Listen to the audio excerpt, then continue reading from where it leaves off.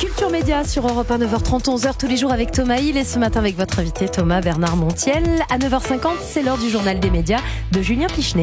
Et on commence bien sûr avec le nerf de la guerre, hein, Bernard, les audiences qu'ont regardé les Français hier soir à la télé. Eh bien, c'est France 2 qui s'est imposé hier soir avec ce téléfilm La fille de l'assassin qui a été regardé par 4 200 000 téléspectateurs. La série doc sur TF1. Ça décolle toujours pas 2 millions de fidèles seulement. TF1 était à 100 000 téléspectateurs derrière M6 et Top Chef hier soir. Et le documentaire consacré au président Pompidou, Ah. réalisé par Patrice Duhamel, qu'on a accueilli euh, ici même hier, a fait un bon score. 1 700 000 personnes l'ont regardé. mal, hein. Et c'est peut-être pas fini parce qu'il y aura aussi le Ouais. replay. À noter également Excellent que euh, lors du journal télé de, de TF1 de Gilles Boulot, l'arrivée de Gabriel Attal vers 20h15 a boosté les audiences. Plus 700 000 précisément à, à ce moment-là. On est monté à 6 100 000 téléspectateurs pour le Premier ministre. Europe 1, le journal des médias. Et puis on commence ce journal avec cette affaire révélée par l'hebdomadaire Télérama. Euh, France Télévisions a été condamné au prud'homme à verser plus de 80 000 euros à un ancien présentateur de France Info. Il s'appelle Gaël Jordana. Il estime que France Télévisions, il est arrivé en 2021, a brisé sa carrière. De 2021 à 2023, il a enchaîné plus de 70 CDD pendant deux ans avant de se faire licencier. Bon, ça s'arrête pas là, bien sûr. Pendant ces deux années, il affirme avoir dû essuyer des remarques sur son homosexualité, avoir dû faire face à des gestes, à des propos inappropriés de la part de cette collègue avec qui il co-animait la matinale de France Info, Camille Grenu, qui elle est en CDI et qui est en couple avec le rédacteur en chef de l'émission Télématin. Une enquête interne a d'ailleurs reconnu euh, des maladresses. Cette condamnation de France Télévisions pour harcèlement moral et sexuel et licenciement nul a été prononcée en janvier, mais ce n'est que cette semaine que Gaël Jordana a décidé de sortir du silence et de raconter son histoire. Et puis autre sujet qui fait du bruit en ce moment, évidemment, vous en parlez aussi dans TPMP régulièrement, c'est le feuilleton de cette fin mars, le conflit Inès Reg, Natacha Saint-Pierre dans les coulisses de Danse avec les stars. Alors, est-ce qu'on se dirige vers une réconciliation Ah, en vue de la prochaine alors. émission qui a lieu demain soir? L'animateur Camille Combal a jugé mardi soir que l'incident qui a débouché, on le rappelle, sur deux mains courantes, sur des accusations de racisme et de menaces de mort, était clos. Mais hier, on a pu constater que le feu n'était peut-être pas éteint. Natacha Saint-Pierre a fait un post sur Instagram qui n'avait a priori pas de rapport avec l'histoire. Un post qui disait ceci. Bon, j'ai besoin de savoir dans quel camp tu es. Tu es, tu dis pain au chocolat ou chocolatine Cette story a curieusement disparu quelques instants plus tard. Alors, d'après le journaliste indépendant euh, Clément Garin, Inès Reg se serait plainte à la production qui a ensuite demandé à la chanteuse canadienne de tout supprimer. Oh là là. Elle n'aurait pas apprécié en fait de constater, de voir que Christophe Licata, son partenaire de danse, avait répondu à cette question de Natacha Saint-Pierre. Ah oui, d'accord. Est-ce que vous suivez toujours? Ah, Est-ce que vous en avez marre? C'est Dallas. Non, hein mais Camille Combal avait dit c'est pas Dals, il dit c'est Dallas Ouais, justement. c'est ça, c'est Dallas, Dallas, c'est Non, en fait, c'est- c'est c'est la haine euh, totale. Ils Oui, vont être très emmerdés. chaque jour un nouvel épisode. Et tous Ouais. les dossiers contre Inès Reg sortent. Parce que là, on parle aussi d'Inès Reg et de son mauvais comportement dans Mass Singer. Absolument, avec Chantal là-dessous Avec. Chantal là-dessous Ouais. et se sont engueulés aussi très Pourtant un violemment. amour de femme, Ouais, donc ouais. c'est quand même assez Bah, surprenant. euh, ouais, Et apparemment, elle n'a pas, apprécié les blagues de Chantal là-dessous. Voilà, Ah. comme, comme on a, à l'époque, c'était Valérie Trierweiler aussi Ah oui. dans Pékin Express. c'est assez étonnant, c'est vrai, une humoriste qui n'apprécie pas les blagues des autres. Ça, c'est assez surprenant. ne sais D'une autre humoriste en l'occurrence aussi. Euh, Est-ce que ce Dallas qui se transforme en Dallas, ça vous donne encore plus envie de regarder le Prime de TF1 Ah, euh, vendredi soir J'ai posé la question à des jeunes téléspectateurs. Tous ont au moins entendu parler de l'histoire sur les réseaux sociaux, mais qu'en pense-t-il exactement?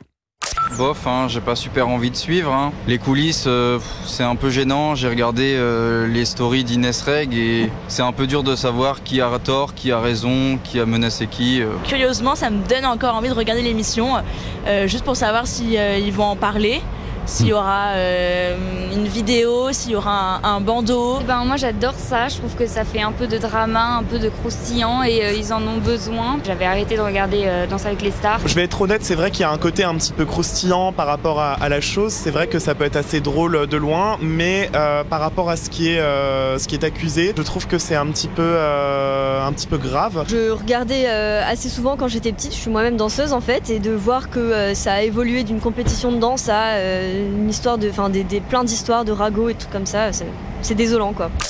Bon, voilà, les avis sont contrastés. C'est vrai que c'est difficile de savoir si c'est positif ou non pour TF1 Et ouais. finalement. Ça fait du buzz, mais en même temps, ça casse un peu l'image familiale du programme. Ah ben complètement, parce que Ah, là, ils vont, ils vont ramer, quand même, c'est très important, toujours la cohésion, l'esprit Oui, bah oui. d'équipe, on est tous ensemble, les images sont belles, etc. Et en fait, ils se détestent.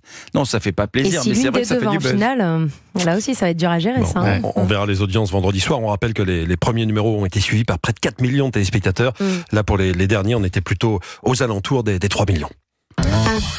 Et puis la commission euh, d'enquête d'attribution des fréquences de la TNT auditionnait hier l'animateur de l'émission Quotidien, Yann Barthès, ainsi que Laurent Bon, son coproducteur. On rappelle que le pluralisme dans les médias est l'un des thèmes principaux de cette commission euh, d'enquête et que cette audition avait lieu à la demande de députés du Rassemblement national qui s'estiment mis de côté par euh, cette émission Quotidien.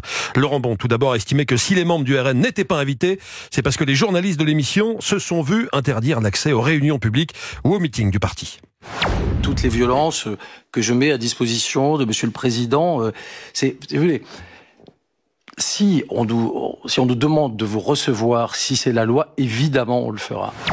Et ensuite, l'animateur de télévision Yann Barthès s'est permis de poser cette question aux députés de RN. Non, je voulais savoir pourquoi vous vouliez absolument venir dans une émission qui ne vous plaît pas déjà. Euh, ensuite, euh, en effet, on a la liste. On a la, on a la liste. Ouais, non, mais malheureusement, c'est aux députés de poser les questions dans les commissions d'enquête, donc euh, c'est un peu délicat. Ah, Il aura essayé. Et Yann paf. Barthès et Laurent Bon ont assumé euh, ne pas inviter de membres de- du RN en, en plateau. Selon eux, les règles d'équilibre du temps de parole sont malgré cela parfaitement respectées. Je reprends leur, leur formule. J'ajoute, Thomas, que le milliardaire Rodolphe Saadé, dont le groupe CMA-CGM possède le journal La Provence, a également été entendu hier à huis clos, quelques jours après cette grève de trois jours des journalistes du quotidien marseillais qui protestaient contre la mise à pied pour deux jours de leur directeur de la publication. Il a rappelé devant les députés qu'une charte d'indépendance éditoriale et de déontologie allait être prochainement signée à la Provence.